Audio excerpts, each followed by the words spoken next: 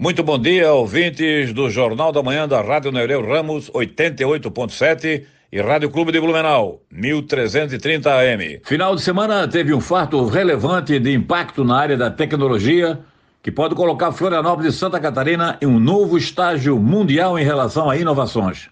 É que o bilionário americano Elon Musk, o segundo homem mais rico do mundo, segundo a revista Forbes, revelou em entrevista a seu amigo Peter Diamantes que a ideia do revolucionário projeto SpaceX, que vai realizar viagens à Lua e a Marte, foi concebida inicialmente em conversa em Florianópolis. O encontro reuniu o próprio Elon Musk e outra sumidade em ciência e inovação tecnológica na área de informática, Peter Thiel, um dos patrocinadores iniciais do Facebook.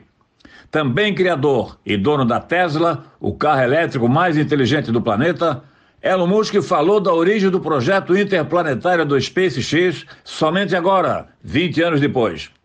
Peter Thiel, o especialista com quem tratou desse projeto interplanetário na Lagoa da Conceição, em Florianópolis, há pouco mais de 20 anos, é hoje um dos principais consultores da NASA e do governo dos Estados Unidos.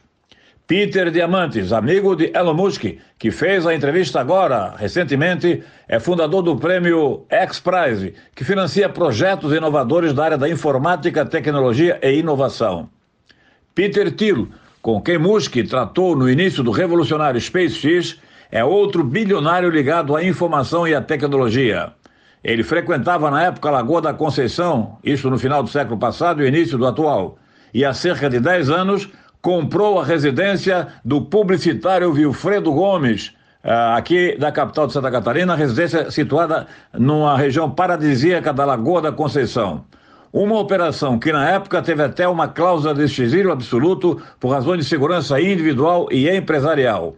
Esta casa, segundo se informa aqui na capital, foi vendida recentemente pelo próprio Peter Thiel em função exatamente da realização de um assalto nesta residência.